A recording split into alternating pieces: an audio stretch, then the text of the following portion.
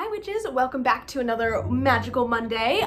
Um, today uh, we are going to be returning back to our Witchcraft 101 topic and discussing the tools you might be using in your practice as a witch. So I know when I first started, I was like very overwhelmed and I felt like I needed to like invest all of my money and like all of this crazy stuff into buying all these fancy tools. And yes, the draw to do that is absolutely fan like I get it. I totally understand. Which might just be my tendency like as a magpie. I just I like shiny things and I also like things associated with witchcraft. So I was just like, perfect. Um, but I also want to make sure that people know that, um, you know, you don't need all of these fancy tools, all of these fancy supplies. We're going to be talking a little bit about the most important tool in a separate video, um, that the most important tool to a witch, which is your intuition. Um, but I wanted to talk about some of the more physical tools that you might be, um, you know, coming into contact with, or maybe some terms that, you know, I didn't have explained to me, so it took me way longer to figure out what they were.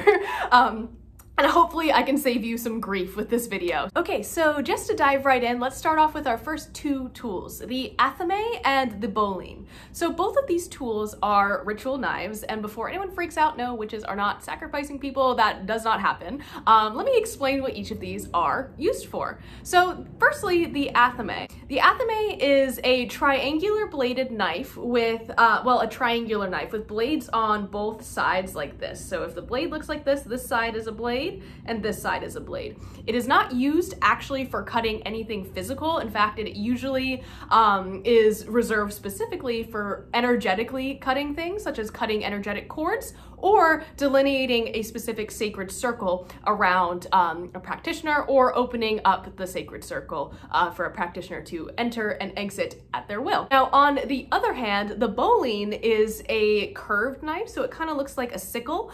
Um, it usually has a white handle, and this is used for cutting physical items, but it's almost always specifically used for harvesting sacred herbs to be used in your practice specifically. So it's not just another gardening tool, it's used for a spiritual purpose. Um, now, again, both of these knives um, are not used to like hurt people or to like make blood sacrifice. I've heard it all. So like, no, that's not what those are for. They all have like very specific purposes.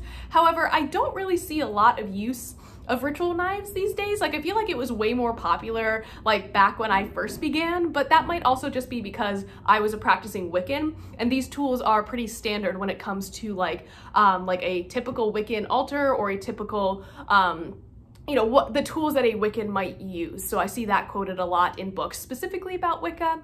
If you are a Wiccan, you may not have these tools. Again, it is completely up to the practitioner. I'm not trying to generalize too much, but I've seen more Wiccans using um, Athames and Bolines than I've seen um, like other types of practitioners, if that makes sense. Yeah, um, just a personal observation.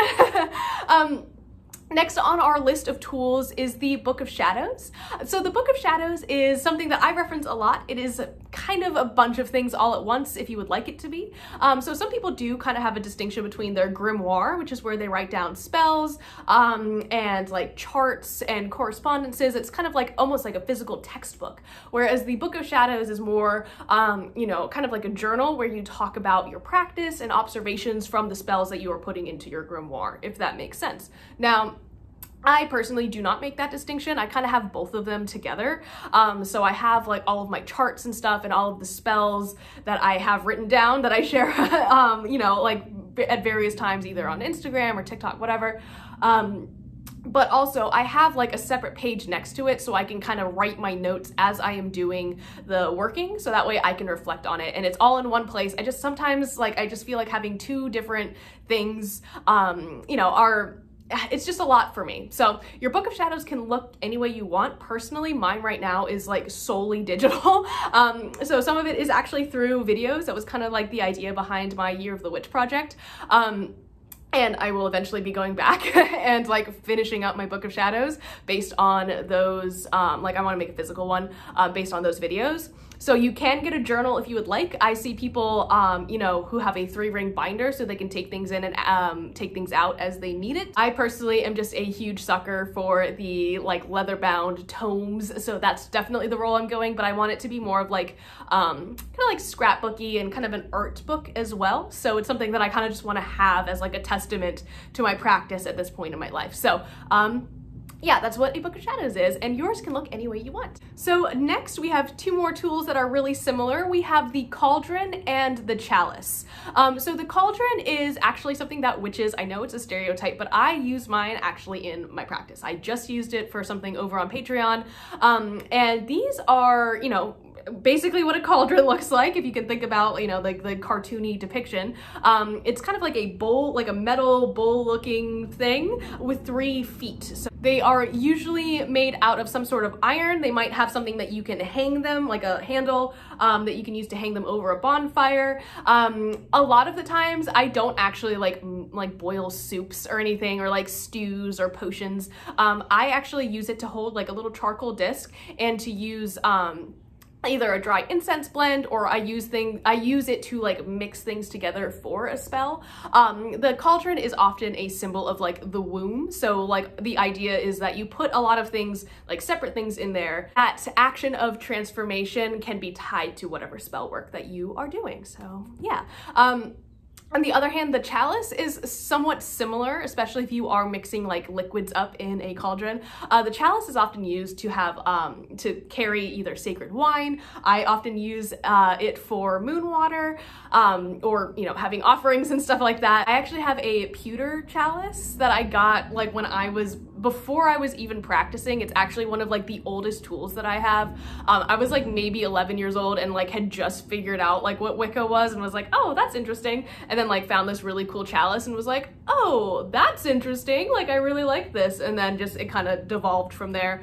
Um, so I, I really love using my chalice, but sometimes it does kind of give me like church vibes. So it's kind of rare that I use it these days. Um, but again, the chalice is used on the altar to sometimes represent the womb as well, um, usually associated with the element of water and usually carries some sort of like sacred, um, you know, blessed wine, mead, moon water, something to that effect. Next, we have the besom or the broom. And again, this is not just like a witchy stereotype. I actually do use mine in my practice. Um, so I have like a full like length, actual full size like witchy broom. So in my practice, right after I finish cleaning my house and I'm ready to start like energetically cleansing it too, I will finish cleaning, I will grab my besom, open my front door and kind of sweep all of the energy um, out towards my front door. And I always hold the broom slightly above the ground so it's not actually ever touching the ground um, and getting dirty and stuff. That's just not what I want. Um, and then I will hang the broom outside overnight. I usually do this under the full moon, so I'll like charge it. Um, and then I will bring it back into my house and it's also a protective ward. So there's that too. Um, so you can definitely enchant your broom. You can use it as decor if you would like, but I actually do use it energetically and um, a lot of witches do actually have like tiny hand brooms that they use for energetic cleansing of like themselves, like on the go. I love that. Or throughout their house if you don't want a big old witch broom on your wall, which I mean, I get it, I understand. At a glance, this tool may not seem like a specifically witchy tool, but it is awesome to use in your practice. And that tool is the bell. So bells are really awesome if you can't um, use like smoke cleansing or like any sort of like Eh, cleansing outside of energetic or sound cleansing. So whenever you are ringing a bell that shakes up the energy around you, that gets all of that kind of stagnancy out of your space. So I have bells like right outside of my sacred space. Um, it is thought that whenever the bells ring, not only are they stirring up the energy, but also like frightening away negative spirits or negative energies, which I like. I'm a little bit superstitious, so I, I enjoy having bells around my space. I would like to ultimately have like wind chimes all throughout my garden when I finally have my garden space.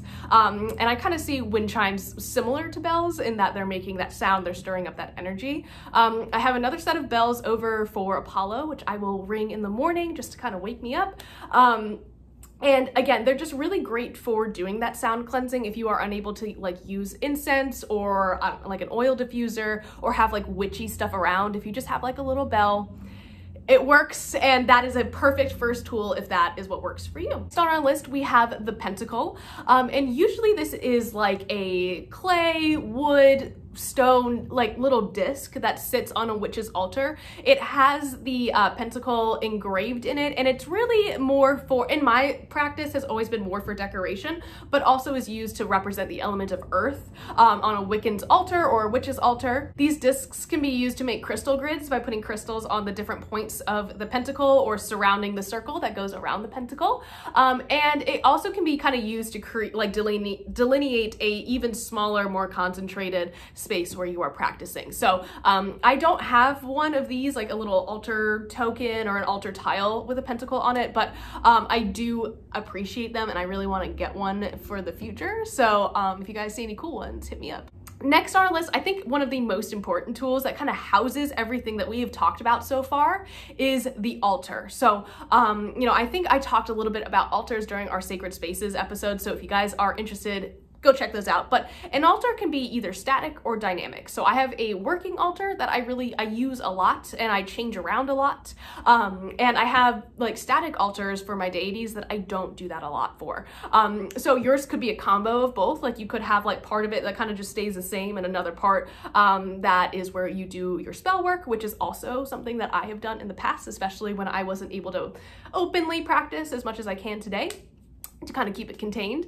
Um, or you can definitely have things delineated. So right now I'm trying to count. I have one, two, three. So five, six, seven, eight, like eight altars in this room, nine altars in this room, right? So all of them are like various, a lot of them are for various intentions and like different deities and stuff. And a lot of them just like don't move. um, but my working altar is the one that changes the most.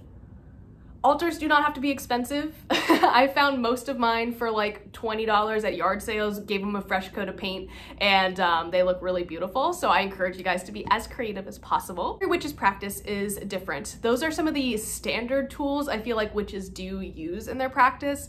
Um, personally, I don't really have any ritual knives, and again, I don't really have a pentacle, um, but I do have everything else. Some other items that you might want to consider um, adding to your practice at any point, if the, these are things that call to you, include um, crystals and herbs, which is actually kind of sometimes people's like dip into witchcraft. It's like, oh, I found this cool crystal. Oh, there's this whole spirituality. Awesome.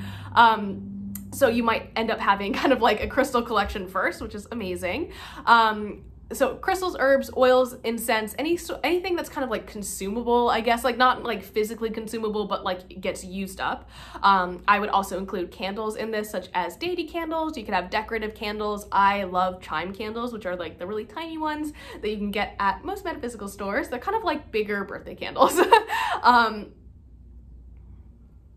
but you might find that you are called to experiment with some of these and these items, so like crystals, herbs, incense, oils, um, candles, stuff like that, they're a little bit like on the less expensive side. So if you're just kind of experimenting, you're trying to figure out, you know, what tools you feel called to, starting with something maybe small like that. So maybe picking out like a really cute crystal and a really nice candle that you like that smells good that you burn when you are meditating. Like that would be something that I would recommend to beginners if that if you're kind of like intimidated by going into a metaphysical store or um, just like aren't sure necessarily where to start, I would recommend that.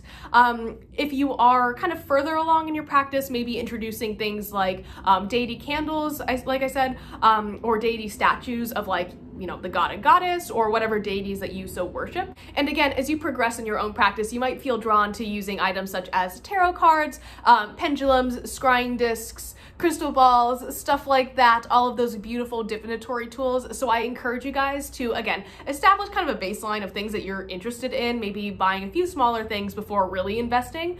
Um, sometimes I feel like people on the internet make it feel like you have to like invest into like various things, like their program or like their stuff in order to be successful. Um, and I just like, I hope I never give off that vibe. So I would say that like 90% of the stuff that I have and that I use in my practice has been found at thrift stores um, or like on Facebook Marketplace because I am a fiend and also a middle-aged like mom. It's fine. Um, but I, I really encourage you guys to like not stress out about like having all the tools at once. Like focus on like your own practice and making sure that you are feeling spiritually fulfilled. The fancy shiny stuff as like attractive as it might be. And again, I totally get it. Like magpie brain over here, 100%. Um, I just I don't want it to be overwhelming to you guys and I don't want you to feel like you have, you know you have to invest all of this like time and energy and money into something that you're not even sure if you really like. As a reminder, take a deep breath, have fun with it and build the practice that you want to build. I'm so proud of all of you guys. Thank you so much for sticking with me today and I'll see you in the next one.